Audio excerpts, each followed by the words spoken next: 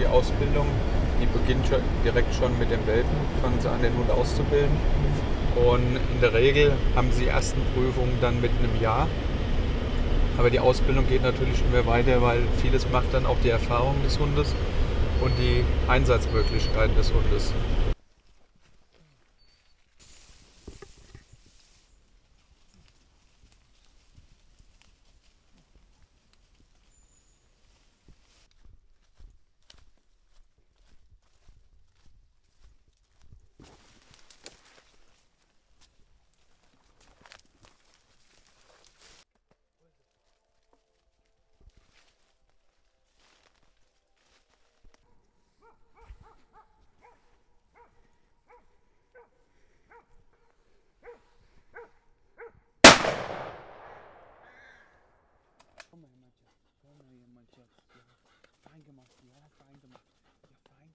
Er, oder?